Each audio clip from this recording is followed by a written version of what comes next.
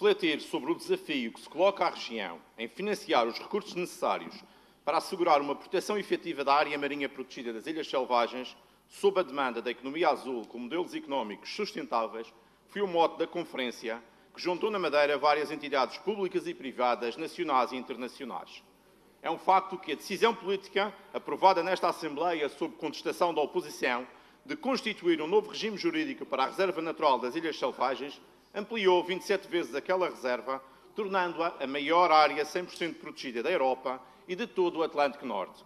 De forma inequívoca, todos os governantes nacionais e responsáveis internacionais presentes foram claros no elogio à decisão da região em ampliar a área reservada com proteção total. Salienta a intervenção do Sr. Secretário de Estado do Mar, José Maria Costa, ao revelar o efetivo alinhamento do Governo da República com o Governo da Madeira na orientação para com as políticas regionais desenhadas para a conservação da biodiversidade, usando mesmo a expressão estamos alinhados, quando se dirigia aos governantes regionais.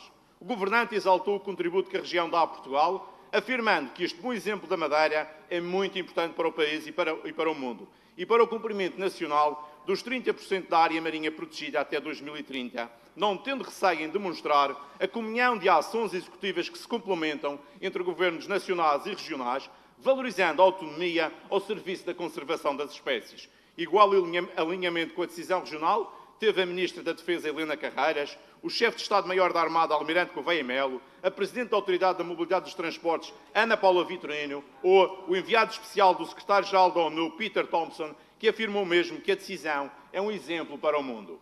Conseguirão, conseguirão os socialistas locais engolir este alinhamento? Ou assim se explica as suas faltas e ausências ao evento?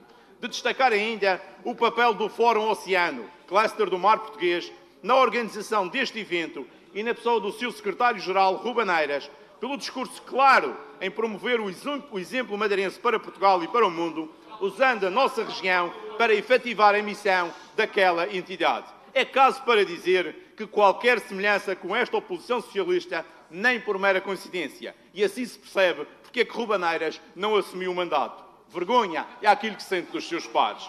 Assim, o grupo parlamentar do PSD congratula a organização da Conferência Área Marinha Protegida das Ilhas Selvagens, enaltecendo o papel do Fórum Oceano no reconhecimento nacional e internacional da Madeira, como exemplo por excelência na proteção do nosso mar e da nossa biodiversidade. Muito obrigado.